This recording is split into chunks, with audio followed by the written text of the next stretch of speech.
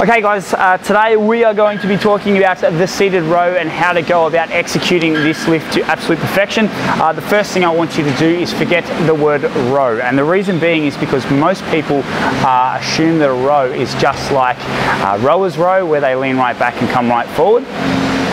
Granted, the forward part of this exercise will be uh, a part of our seated row here. However, that full extension of the, the back, that's where we're going to cut out in just a moment and we'll talk about this uh, in just a minute. Now, to set up, first thing we need to know about any back exercise is this. The weight is always going to want us to want to pull you into this position here where your shoulder blades are rolling forward.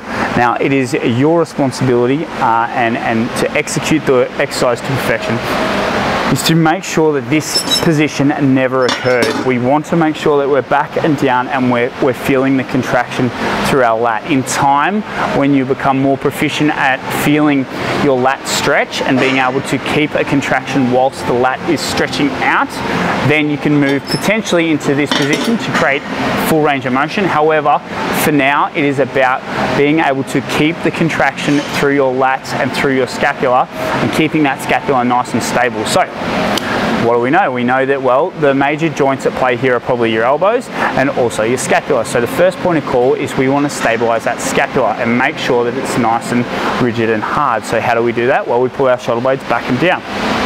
So when we grab a hold of this bad boy with our, uh, well, yeah, well, when we grab a hold of it, to pull our shoulder blades back and down, but we also want to make sure we know what we're doing with our feet. With our feet, what I want you to think about is we're going to screw in just like we, we do with a leg press, a squat, a deadlift.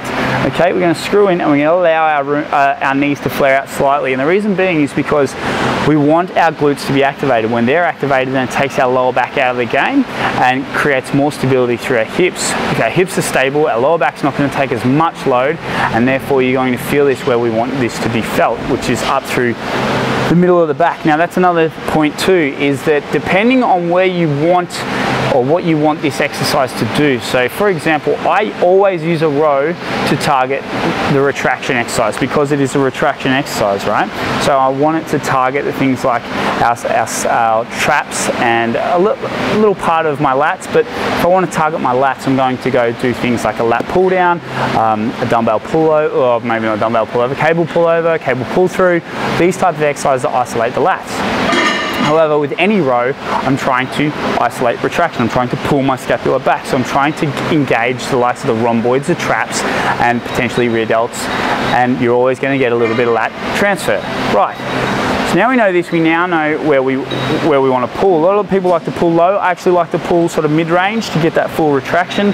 That's just me. It's just where you where you feel your your upper back more. Again, I like a little bit high. So feet. We're going to bring these in knees slightly out.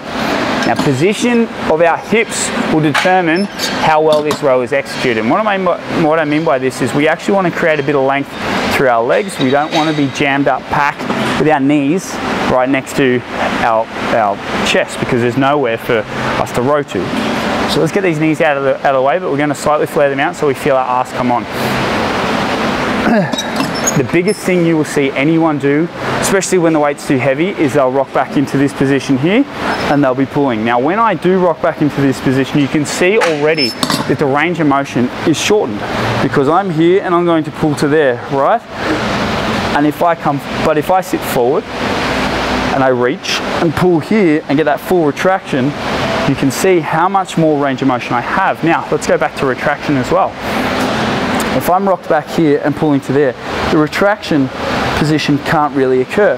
But if I'm tilted forward at about just past, so if we're 90 degrees like this, we want to be slightly forward.